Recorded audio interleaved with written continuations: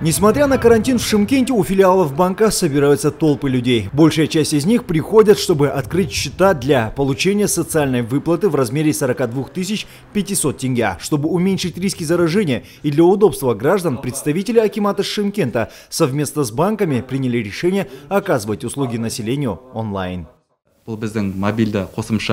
Если открывать карточный счет через мобильное приложение или сайт, клиенту необходимо ввести свой ИИН-номер и указать свою фамилию, имя и отчество. После того, как карта будет готова, наши специалисты довезут карточку прямо клиенту домой.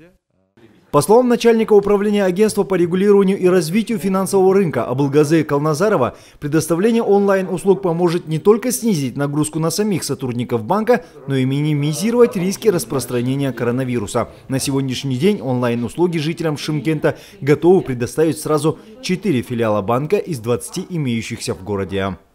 На данный момент по городу Шимкент э, представляет онлайн-услуги Каспий банк. Home Кредит Банк, Народный банк и Банк Центр Кредит. Жителей нашего города, чтобы во избежание вот этого распространения коронавируса, не приходя, не посещая банк, открывали через мобильные приложения Каспий банка, а также Халык банка, банка Home Кредит, а также банка Центр, Центр Кредит, пользуясь этим случаем, открывать счета через онлайн.